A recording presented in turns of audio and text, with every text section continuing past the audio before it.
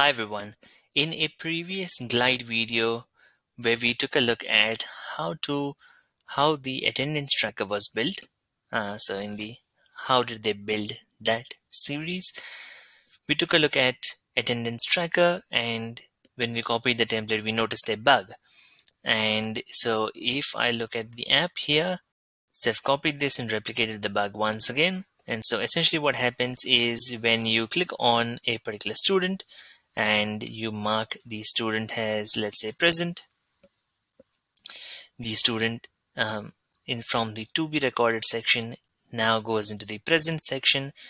And then if I go into the list of students and click on the same student again and mark the student as present once again and then if I go to the home screen I can see that that student is now appearing twice so this is a bug. You don't obviously want the duplicate entries to be to be shown.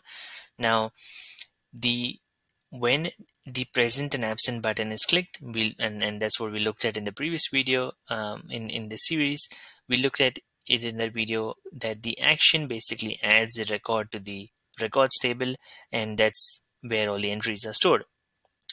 And because we're getting all the all the entries from there, uh, we are not filtering the duplicates. So here's one solution. Um, then there might be another way to do this, obviously, but from what I could um, just quickly configure, I'm just recording that solution here at the moment. So if to remove these duplicates, what I did was essentially clicked on the list.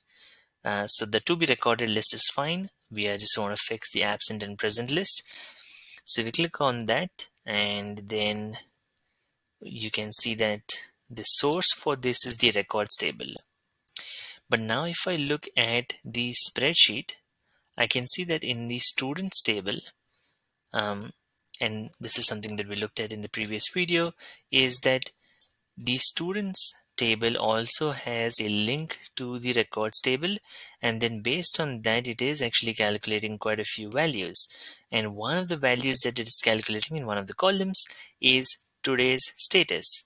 And today's status is if basically has record from today is true then we are setting that value else it is just an empty value. And has record from today uh, checks if today is well if the value is within today. So it already does the value for us. It already does the logic for us. And um, if you look at the app tomorrow um, these values will get um, because these are calculated values these will get cleared out. So we should be able to reuse the same logic tomorrow as well. So my plan was to just use those values instead of instead of the records sheet. So if I select students um, the obviously the circles have all gone now so let me reconfigure that. Uh, for the title I'll select name and for the photo I'll select resolved photo. So now it has showed me all the students. I don't want all of them. I want only the ones that have been marked as absent. So if I go into the filters in the options tab go to the filters you can see there's a few filters configured what I want to do is I want to I'll remove this one here. And I'll say if where the where today's status is absent. Right? All that's all I needed to change. And this has now pulled the right value. So for each student because you're looking at the students table um, there's no duplicate values there's no duplicate students and students has a relation with the records column. So it's pulling all of the records. And then in one of the columns in the students table, uh, we are basically setting it to true and false if today has been marked as it has been marked as a, the attendance has been marked. And then if it has been marked what we're doing is we are we are we are checking if it has been marked as present or absent. And then that value we are storing it in another column.